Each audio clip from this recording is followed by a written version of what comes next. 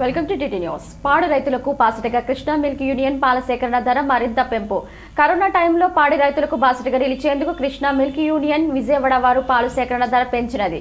గేదె పాలు ఒక లీటర్ పాలు పది వెన్న శాతానికి అరవై ఐదు రూపాయల నుండి ఐదు రూపాయలు పెంచి డెబ్బై రూపాయలు ఆవు పాలు కేజీ టీఎస్ రేటు రెండు వందల ముప్పై మూడు నుండి రెండు వందల యాభై మూడు కొనుగోలు రేటుగా Krishna milk union Vijaya dairy Vijayawada పాలక మండలి ఒకటి ఐదు రెండు వేల ఇరవై ఒకటి నుండి పాలు కొనుగోలు రేటు అమల్లోకి వస్తుందని Krishna milk union chairman Shri Chalasani Anjaneyulu వెల్లడించారు. పాడి రైతులు చైర్మన్ హర్షద్వానాలు తెలియజేశారు. ఈ కరోనా సమయంలో పాలు రేటు పెంచి మా రైతులకు అండగా నిలిచిన Krishna milk union chairman Shri Chalasani ఆంజనేయులకి మా రైతుల తరపున కృతజ్ఞతలు తెలియజేశారు.